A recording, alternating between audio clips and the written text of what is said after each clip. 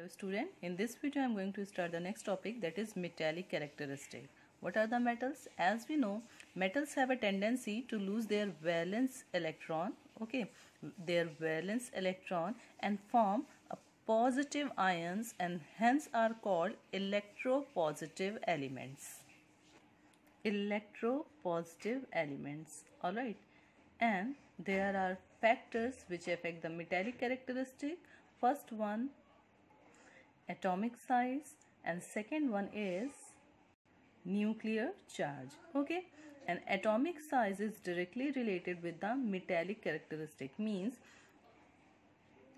means with the increase in atomic size and as we know while moving left to right the atomic size decreases okay? So when we increase the atomic size the metallic characteristic increases while increasing the nuclear charge, the metallic characteristic decreases. They are directly proportional.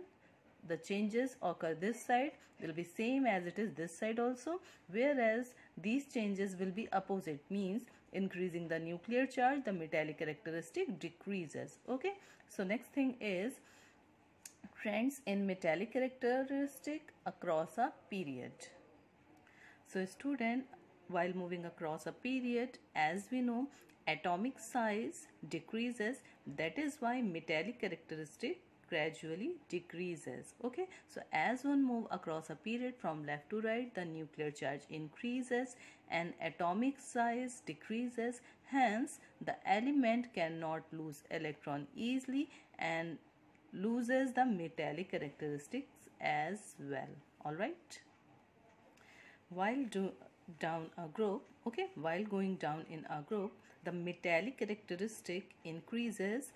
Reason behind this as one move down a group an extra electron shell is added after every change of the period.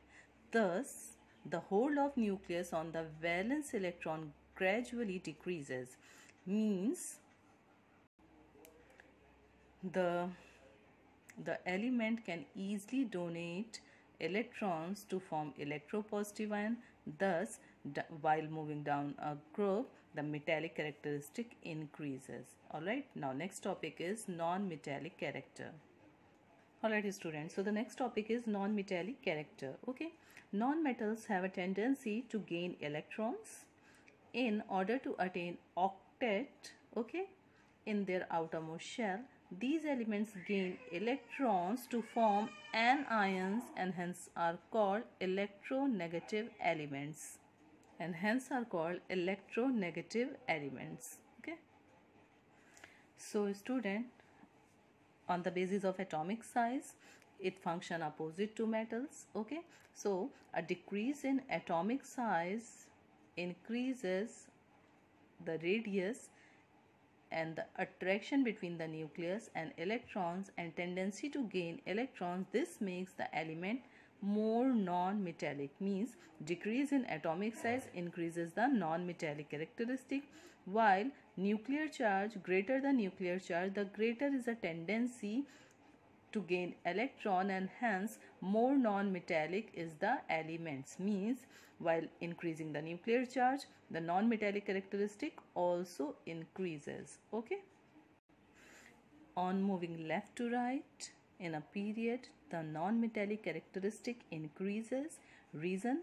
Because the tendency to gain electron increasing on moving across a period due to increase in the nuclear charge and decrease in the atomic size. Hence, the most non-metallic characteristic increases across a period. Okay. Now, next one is down a group. As we move down the group, the non-metallic characteristic decreases. Reason behind this? As one move down a group, an electron shell is added after every change of period. Thus, the nuclear charge, thus the nuclear charge decreases. So, the tendency to gain electron also decreases and the non-metallic characteristics also decreases. I hope everything is very clear. Take care students.